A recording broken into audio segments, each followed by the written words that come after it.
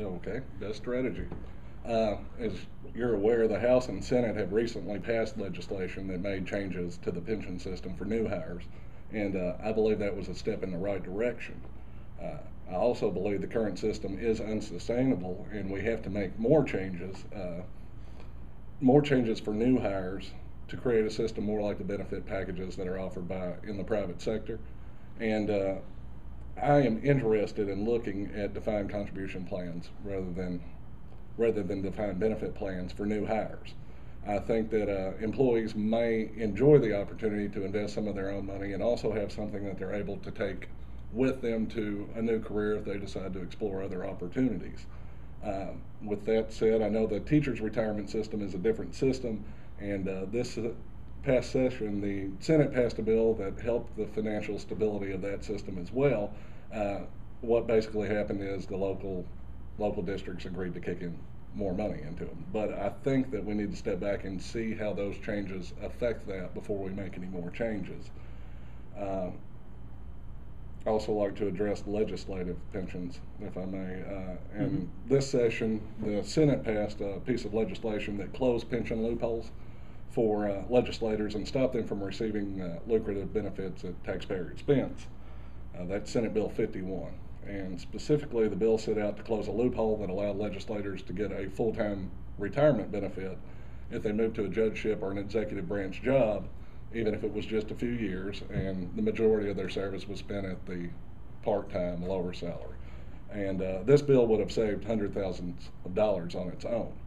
Uh, this bill died in the state uh, House State Government Committee.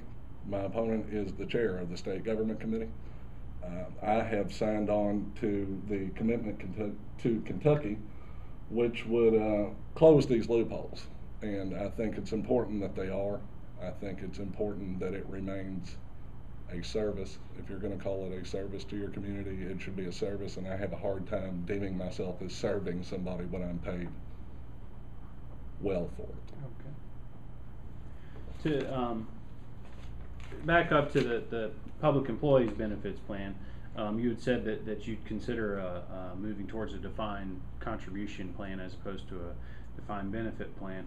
But, um, would you, and I think you, you said you wouldn't make any changes to the benefits packages that, um, are currently in place for current employees, these would just apply to new No, and I don't think that's fair, and I think that, I, I said I'm willing to look at them. I, I'm, I personally will not participate in the state pension system. And that's just, that's a personal choice, and because I intend to be part of the solution rather than the problem. But I believe that it's possible to make these plans solvent simply by prior- prioritizing spending. And that can only come from greater accountability and openness in government, which is some other initiatives. So I'm willing to look at, yes, adding more, making it more of a defined contribution kind of plan, but I also think everything we're gonna talk about in this interview, uh, the core of almost every problem we talked about today in our Commonwealth is that we've been subjected to policies of borrow and spend and raising taxes and running us into the red, and it's time to change that.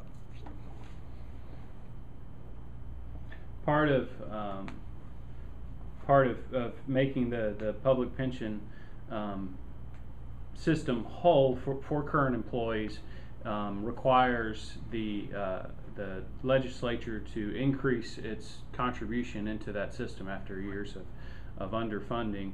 How do you propose uh, addressing that increasing cost? Because that you know that's going to, to be hundreds of millions of dollars more in the coming years. I think that's part of, I know we'll, we'll get around to budget issues, but I think that's part of making the budget system more open and accountable. I think that, uh, there are bills that are being presented, bills that should be passed that require these expenditures to come before public committees, to come be posted online, and I think, and I think I know in my heart that there's enough waste out there that can be eliminated, enough redundancies that can be eliminated, and we can be efficient enough to fund these programs at state, at current levels. Okay.